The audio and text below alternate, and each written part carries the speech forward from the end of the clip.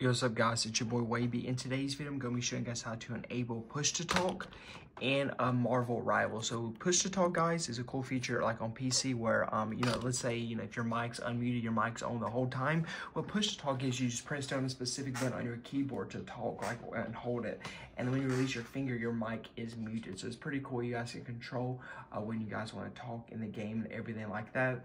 Um, so some of you guys might want this feature on, some of you guys want, made, want it off. You know, you can you have the option to change it on or off in the game. And you guys can do so in Marvel Rivals by clicking settings right here. And then under settings, you guys want to go to where you see audio and go to the audio tab right there, not combat mix.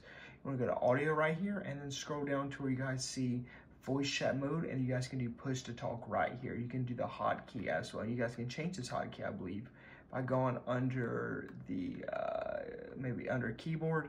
And then you guys can then go to, uh, let me see communication, push to talk, and you guys can um, set the key up right there if you guys are using mouse and keyboard. Um, but yeah, hope you guys enjoy this video. Wait, maybe on, yeah, only you can do it on controller. Uh, well, yeah, you can on controller, you can set it right there too. So yeah, hope you guys enjoy this video, and I'm out. Peace.